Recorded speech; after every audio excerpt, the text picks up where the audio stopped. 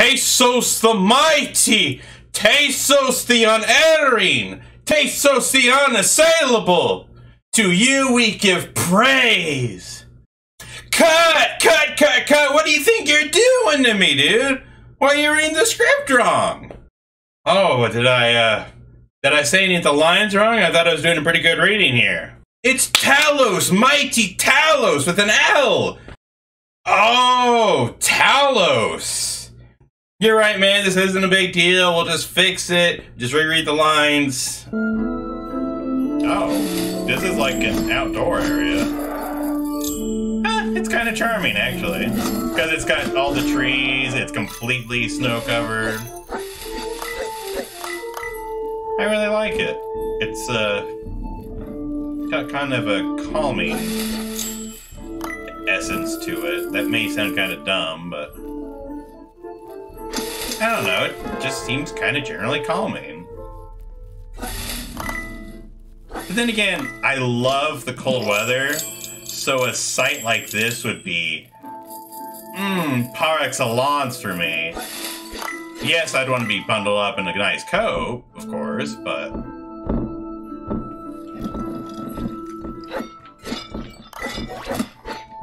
you know, I'd love nothing more to go out in the woods. Not just by myself like an idiot, you know, safety in numbers, but uh, the complete and total stillness, the relaxation of it, the serenity, the calmness. I just love stuff like that. Okay, there are some branching pathways.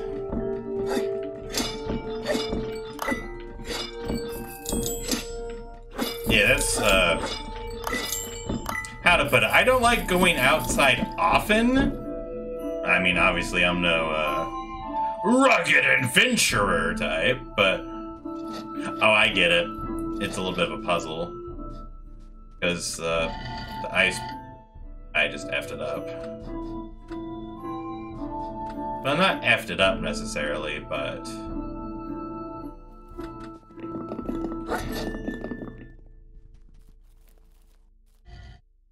Because I wanted to go there, then, yeah. Whee! Then, I can push it down. Oop. No, come on. There we go. Then, right and up.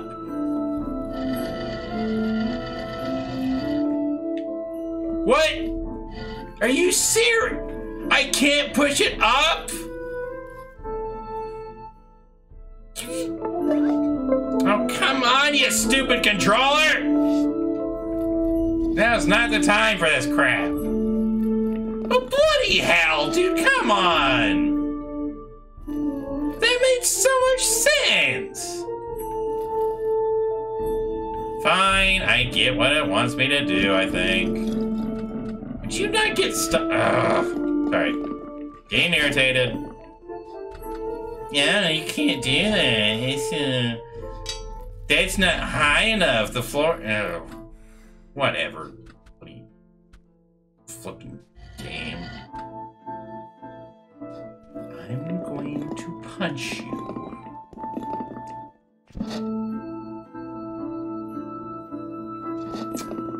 Okay, thanks for going one tile to a high, but I think I see what the problem would have been anyway, so it's fine. It wants me to alternate. That's all it wants me to do. It just wants me to alternate like a good little... Like a good little boy. Alternate. Back and forth. Would you... Ugh! These thin little corridors. Do not push that.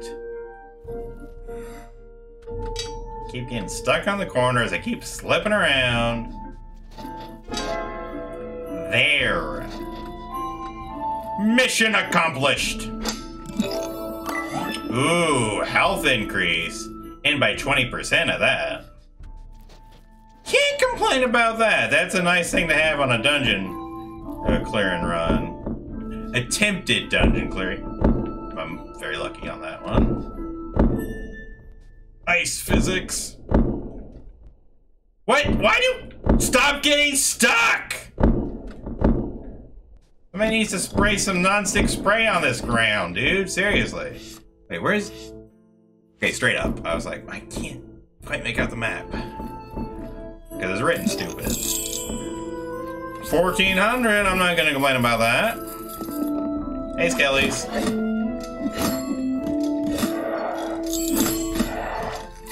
Kill him with his own bone.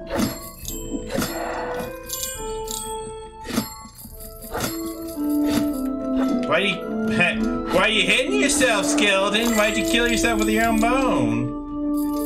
Oh, that was just an accident, huh? Well, these things happen to the best of us. Or in your case, the worst of us, because you suck! Ha! Gotti.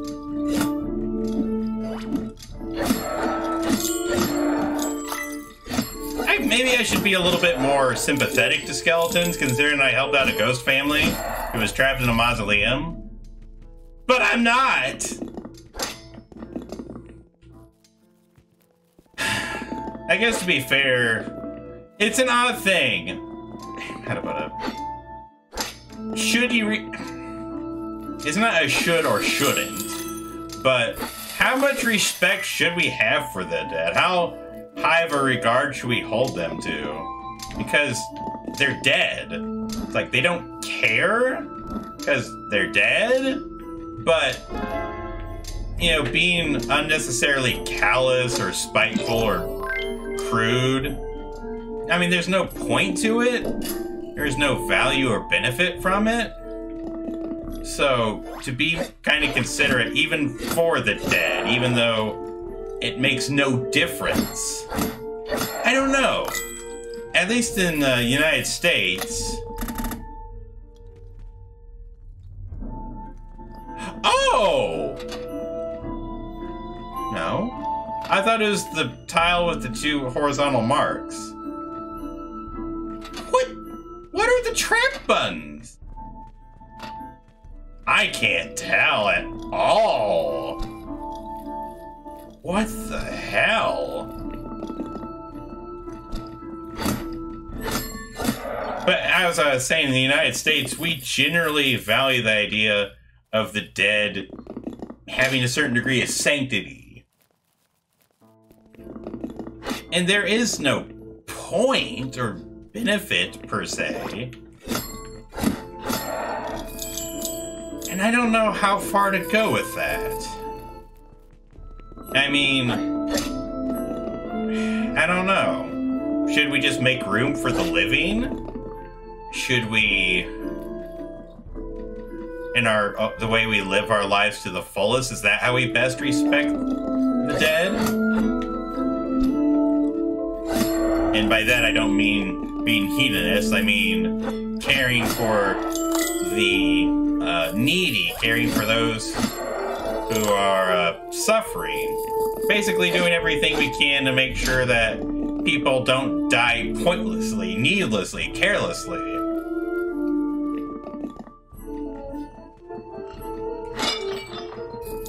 I, you know, I just don't really know.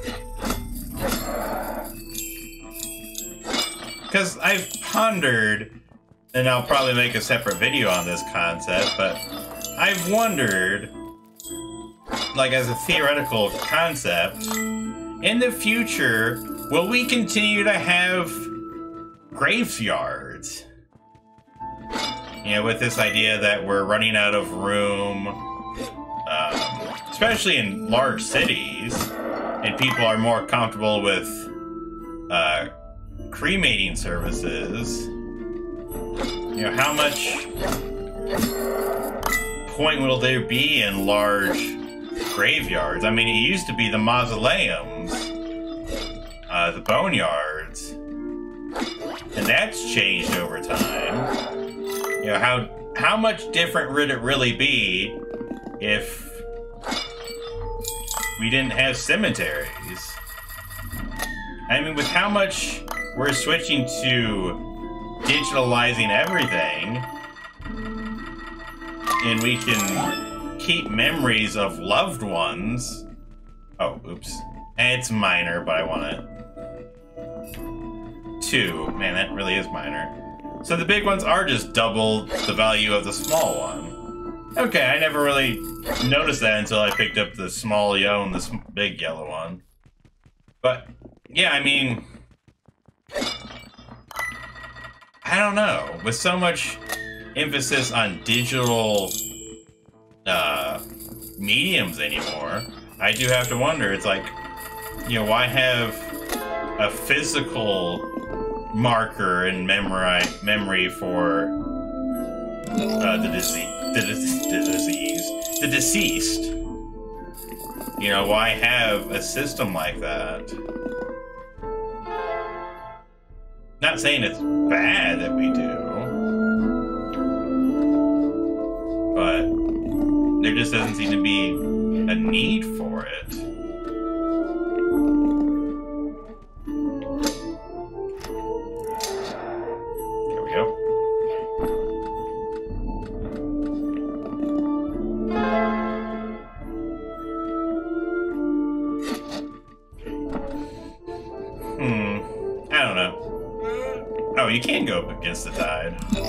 Gonna really guess that. Wow, another max health.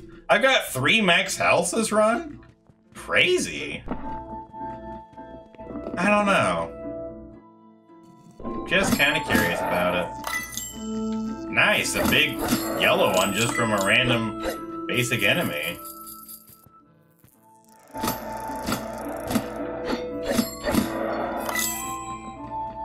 I I don't think I can smack that with a hammer to make it go down. So I think what it wants me to do...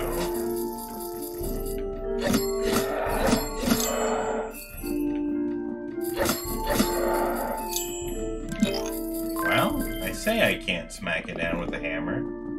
Ah, because I couldn't. I was right.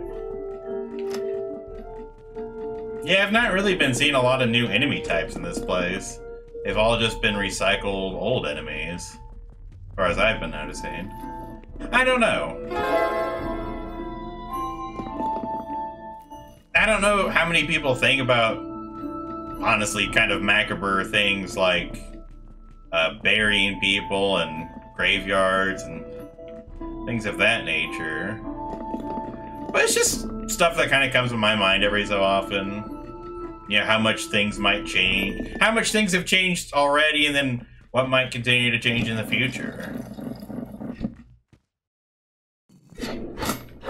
Yeah, I think what history really shows us is human beings are very poor predictors of what's going to come down the pipeline. We can make preparations, but you know, there's only so much you can really guess and predict for.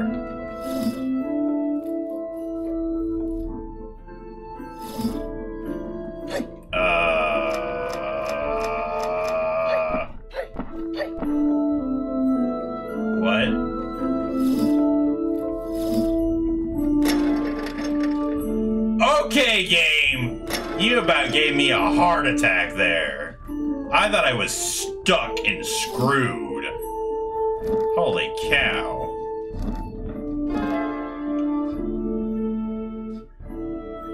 Wouldn't have had any uh, good friends from that one.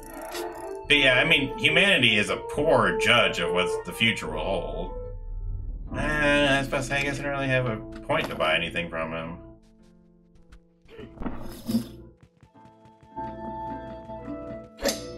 I mean, we... How to put it? As far as, like, our technological advancements, nobody saw all this stuff coming. I mean, they had kind of ideas. I mean, these that is the generations that built all these technologies, uh, one bit and piece at a time. But you know, nobody could have foreseen society turning out the way it is now. At least not lock, stock, and barrel. Pieces and portions you know, having some idea, but I don't know. I just have to wonder. And I guess to be honest, I mean, this might sound callous, but I think the reason, uh, for me especially, that the idea of a cemetery seems so outdated, quote unquote, is particularly because of how much people move around the country nowadays. Families don't as often move into an area and then this is our homeland. You know, we we shan't move away for high or hell or high water.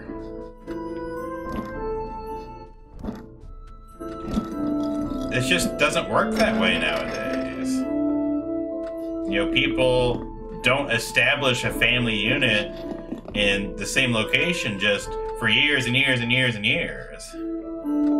I'm not saying it never happens, but you know, there's a lot more transients. There's a lot more movement around the country. That just wasn't really a thing, uh, you know, a couple of generations ago. So, in order to keep track of all the different family members who get buried all around the country, well, you're gonna need basic. Oh, I got a map. You're gonna need a. Uh... Speaking of maps, you're gonna have to track basically where everybody's buried. Oh well, so and so is buried in this state, and they're buried in that state, and you know, how far away are each of those locations in contrast to one another? How many hours of travel would that be? And how distant is each family member against one another? You know, uh, are any of those family members real close? Or it's like, oh man, that's distant family, that's extended family. You know, would we really go out of the way to visit them? I mean, nothing against them. They're a beloved member of the family, but that's a mighty steep drive just for an uncle or a cousin or such and such, right? I don't know. And again, this is such an odd thing to talk about in a video game. It's not. No offense to the game, it's a roguelike, it's a dungeon crawler. It's not a particularly thoughtful, profound, like, hmm, good point, I see what you mean. I don't know. I think about weird stuff at weird times. Just a weird kind of duck, you know? Uh, where's the pairs? Oh, okay, I was like, where's some stairs so I can get up? Oh, I wanted to go. There. Dang it! I didn't mean to walk off the edge. Ooh, extra damage with the sword. That's helpful. Yeah, might as well clear this side first, because... Uh...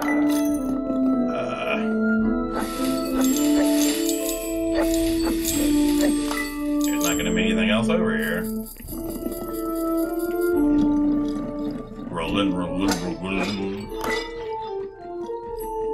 Yeah, I don't know. I'm a weirdo. And I would ask, is anybody else thinking about death and the grave? And, you know, it wasn't that long ago I was talking about I'm not getting any younger. Like, I'm not, like, a profoundly morbid, uh, oh man, uh, is FruitNDoggie real down the dumps and depressed about getting old? It's like, no. You know, it's just completely unrelated claptrap. Just random nonsense I think about. So, uh, I wouldn't worry about me. I wouldn't read uh, deep meaning like, oh, oh, there's a storm clouds over poor uh, you know, he's uh, casting depression and uh, hardships, and it's like, nah, I'm fine. I'm cool.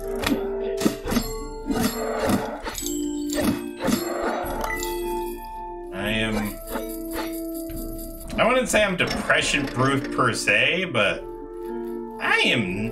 I'm just not the type of person to get really too uh, down the dumps, honestly.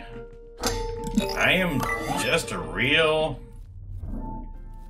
mellow kind of guy, you know?